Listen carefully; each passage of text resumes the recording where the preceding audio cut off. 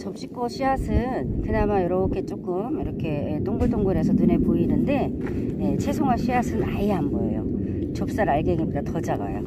그래서 예, 이렇게 청토에다 지금 흙을 섞었고 그 다음에 이제 하단에다가 솔솔솔솔 뿌려주도록 하겠습니다. 어, 깊이는 한, 한 5cm 정도? 예, 5cm 깊이로 이렇게 긁어서 그 안으로 솔솔 뿌려줄게요. 여기 남천나무 앞쪽에다가 어, 채송하고 접시꽃을 어, 심어주면 될 것 같아요. 요 정도, 요 정도로 어, 구멍을 파서 여기다가 솔솔 뿌려주도록 할게요. 이렇게 하면은 입구가 여름 가을에 아주 멋지게 날 이쁘게 나지 않을까 싶은데요. 음. 자 이런 식으로 음, 이렇게 해서 이렇게 한 주먹 집어서 지금 이 구멍 판 데다 솔솔 뿌려주면 될 것 같아요. 이렇게. 음, 이렇게 뿌려주고 흙을 살살 이런 식으로 살살. 우리 단양 능남매 사장님이 얘기하신 어, 이렇게 살살. 어, 이렇게 하단 이런 데다가 씨앗도 뿌려주고 막 이래야 이렇게 잡풀 같은 것도 없을 수 있고 어, 그럴 것 같네요. 자 이렇게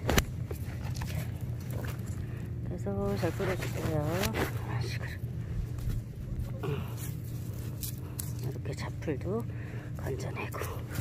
그나마 씨앗도 안 뿌리면 이 밭이 관리가 안 될 것 같아요. 자 이렇게 뿌려주었습니다. 씨도 뿌려주고 이렇게 물도 한번 네, 주도록 할게요.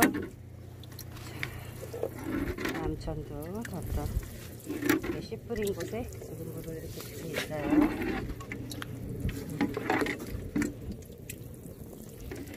여름 가을 되면 접시꽃이 제가 우리 어, 밥 먹으러 갔었는데 거기 식당 앞에 굉장히 멋있게 접시꽃이 피어 있더라고요. 그래서 작년에 제가 인터넷 뒤져서 어, 인터넷 뒤져가지고 이렇게 지금 사서 뿌리고 있어요. 자 남천도 여기 남천이 이쁘게 자라려면 좀 걸리니까 그 안에 이렇게 씨앗이라도 됐어요 여러분. 지금까지 행자 다이겠습니다. 바이. 오늘은 채송화 씨와 접시꽃 씨앗을 뿌렸습니다